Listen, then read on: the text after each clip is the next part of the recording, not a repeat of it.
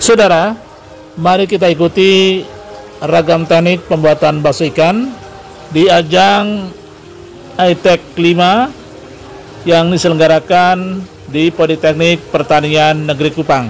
Selamat mengikuti. Saat ini peserta lomba sudah memulai pembuatan bakso ikan. Ikan yang dipergunakan adalah ikan cakarang.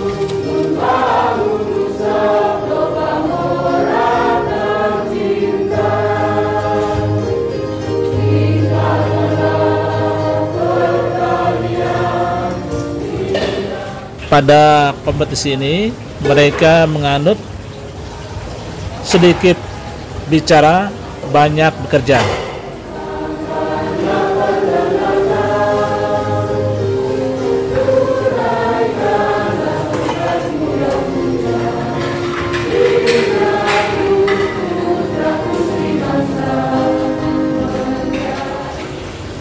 Para peserta kompetisi mempersiapkan ikan cakalang yang akan dijadikan bakso ikan.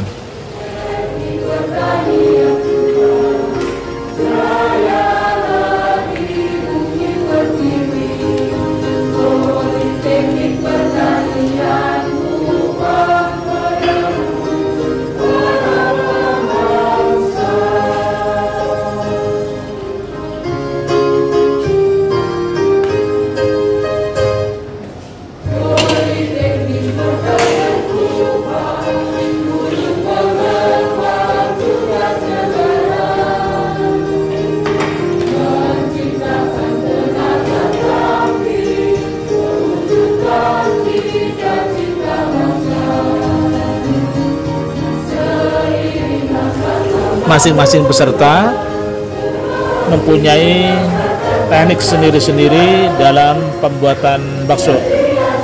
Pada umumnya dalam pembuatan bakso ini mereka lakukan tidak dengan cara yang sama.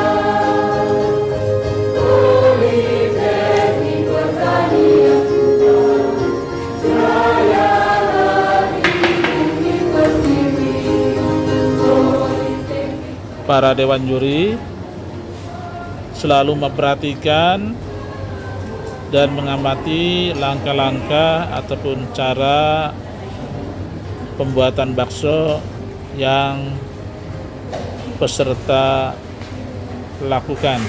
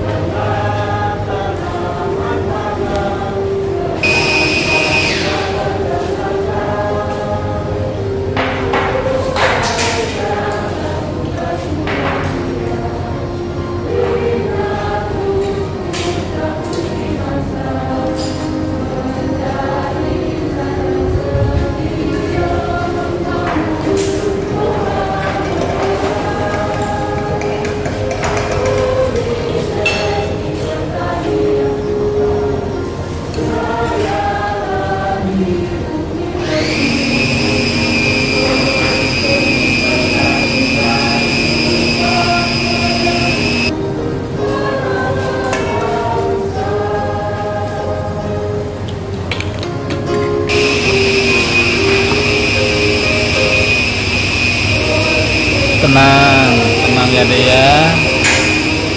Kalem jangan pergi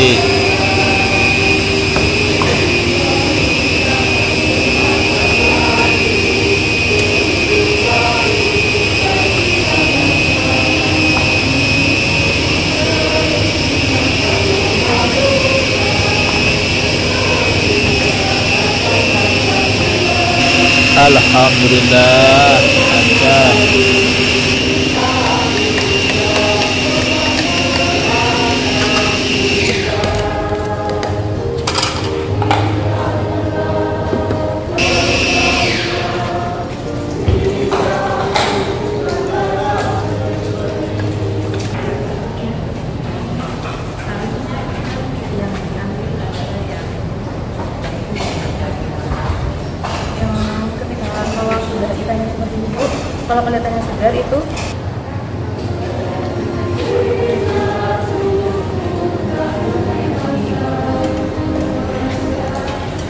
Pembentukan pentolan bakso pada umumnya dilakukan dengan dua cara, yaitu setelah terbentuk bulatan pentolan, langsung dimasukkan ke dalam air panas. Kemudian cara yang kedua, setelah terbentuk pentolan, dimasukkan ke dalam air es atau air dingin, kemudian baru dimasukkan ke dalam air yang panas atau mendidih. Adanya kedua teknik cara pembentukan pentolan bakso ini akan menghasilkan penampilan tekstur yang berbeda.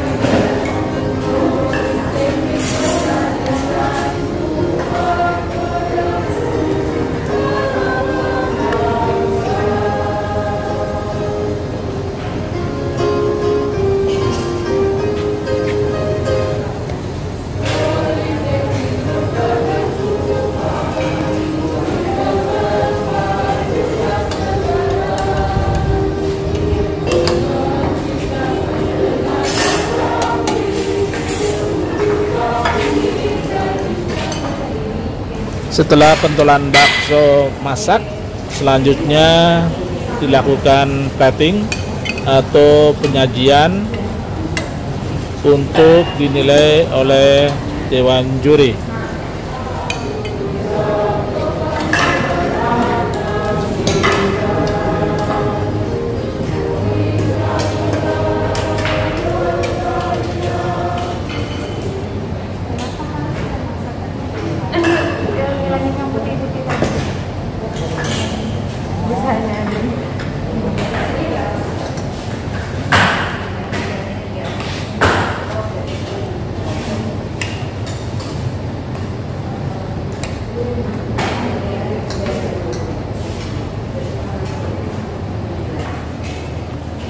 Saudara, saat ini saya sedang mengikuti lomba pembuatan bahasa ikan Hightech 5 yang diselenggarakan di Politeknik Pertanian Negeri Kupang. Ini khusus pembuatan bakso ikan.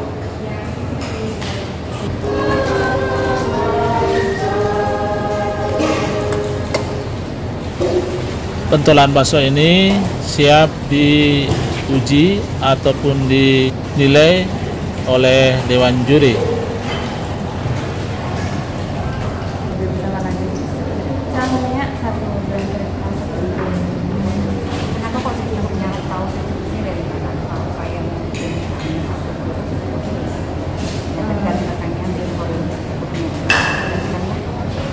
Dewan Juri sedang melakukan tes organoleptik ataupun penilaian pada bakso yang dihasilkan oleh para peserta.